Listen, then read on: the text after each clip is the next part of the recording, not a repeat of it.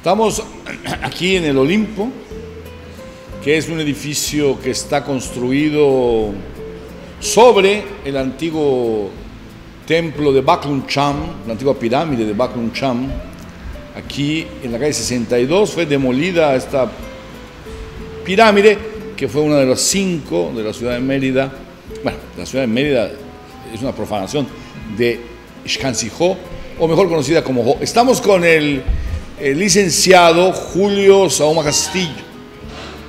Mucho, mucho gusto, Gonzalo, por acompañarle, saludarle en su, en su programa. Julio eh, es un aristócrata político. Eh, que- porque eres hijo eh, de un muy buen amigo mío, casi condiscípulo, era un poco más grande que yo, tu papá, que estudió en la Facultad de Contaduría. Eh, no he llamado Julio, porque ese es el nombre de tu abuelo. Sí, eh, de la familia Sauma y de Beatriz Castillo Peraza, hermana de Carlos Castillo Peraza, un personaje muy importante de la, de la transición política eh, de México y de Yucatán también. Un intelectual eh, de primer orden, eh, un gran conocedor de la política, presidente del PAN, eh, em, maestro, fue mi maestro, profesor muchos años. muchos años. Eh, un, un tipo realmente excepcional, para desgracia de México. ¿Sabe? Nos hace falta, ¿eh? Carlos nos hace falta en estos días, Siempre y sobre todo ahora.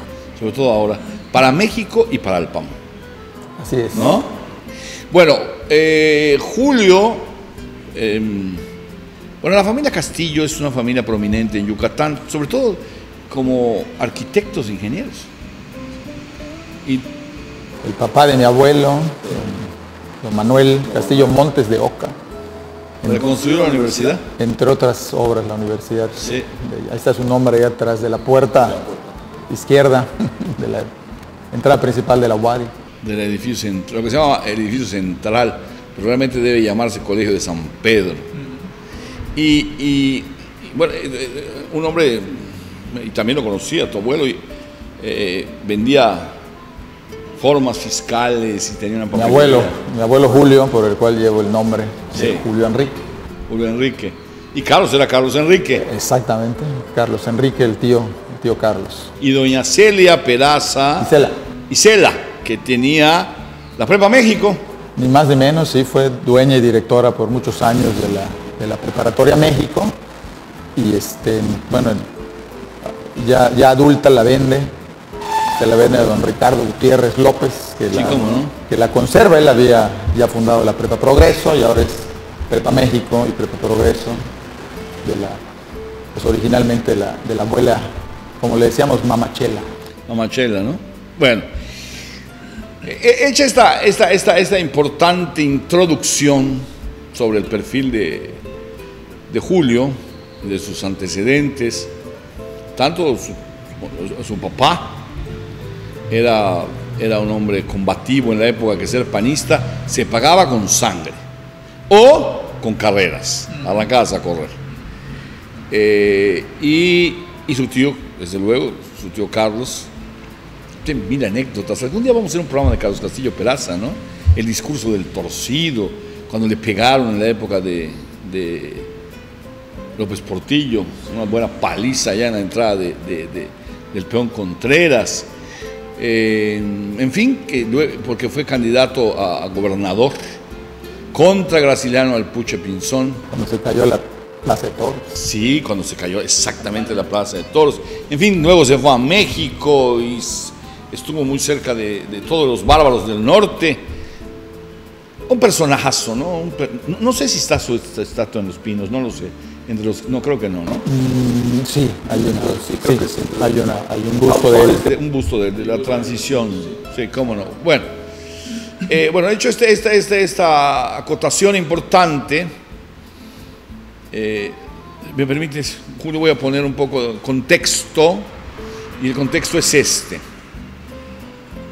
El gobierno de Renán Barrera Concha eh, se ha distinguido eh, por un conjunto de, rasgos muy particulares, eh, singulares totalmente, que han hecho, lo han hecho distinguido, yo no sé exactamente, no se puede juzgar ningún gobierno, sino al paso de mucho tiempo.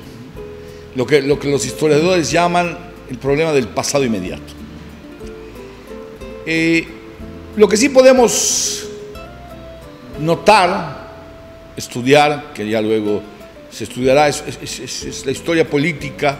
Es muy difícil en este país porque las pasiones arrebatan, ¿no? Y el mexicano no tiene memoria. Pero bueno, hay, hay eh, no le gusta tener memoria sobre, sobre sus gobiernos, ¿no? Hay que definirlos a todos como malos. Y a partir de eso nos vamos a entender.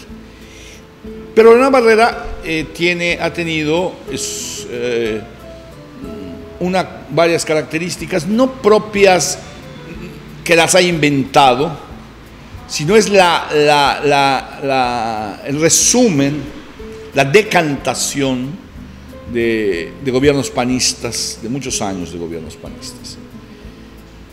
Una de ellas, quizá la que, no sé si es la que lo va a inscribir a la historia, aunque creo que sí, creo que lo va a marcar en la historia política de Yucatán, es haber incluido en la estructura de la administración una secretaría, secretaría de atención ciudadana. Participación ciudadana. Uy, más complicado, participación ciudadana, pero más...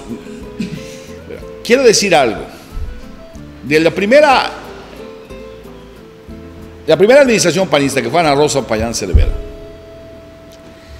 eh, luego vino Luis Correa, luego vino Patricio Patrón Laviada, luego vino Xavier eh, Pérez Abreu, le quitaron el Pérez, yo no sé por qué, y a dónde se lo llevaron, y ahora es Abreu Sierra, eh, Manuel Fuentes Alcocer, eh, César Bojorques, incluido César Bojorques, que es un poco el más controvertido de los alcaldes panistas.